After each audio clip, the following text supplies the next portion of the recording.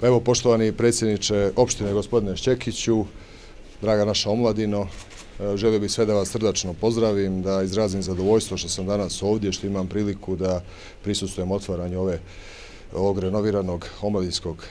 kluba. E, prije nekih više od godinu dana, kada sam bio ovdje, razgovarao sam sa predsjednikom i e, onako usaglasili smo se da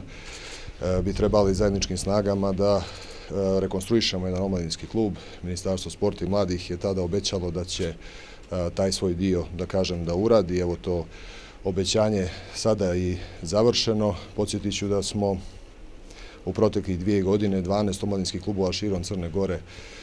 renovirali i želim da vam kažem da vlada Crne Gore i Ministarstvo sporta i mladih fokus stavlja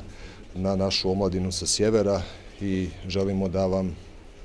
na svakom mogući na svaki mogući način omogućimo e, što bolje uslove i da, da kažem u tom segmentu unapredimo omladinsku politiku. S tim u vezi rekao bih da i novi zakon o mladima koji uskoro će biti e, nadam se pred poslanicima u Skupštini će e, dati nove mogućnosti, nova rješenja, pa tako imat ćemo praktično po prvi put da se radi analiza potreba mladih E, mladih ljudi. Na osnovu toga će država direktno sufinansirati e, program javnog interesa u oblasti omladinske politike i e, prepoznati, da kažem, na pravi način potrebe mladih. Također, ono što je značajno reći, to je da smo Eh, institucionalizovali eh, eh, omladinske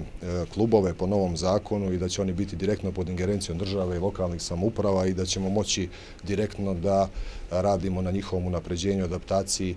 i rekonstrukciji i na taj način pomognemo da mjesta koja su poput ovoga budu mjesta vašeg okupljanja, druženja, sticanja vještina i što je najvažnije od svega bit će besplatne korišćenje za sve vas. Eto, s tim u vezi želio bih da vam kažem da apsolutno na adresu Ministarstva sporta i mladih uvijek ćete naći da kažem iskrene prijatelje i nekoga ko želi da bude tu za sve vaše probleme. Eto, hvala.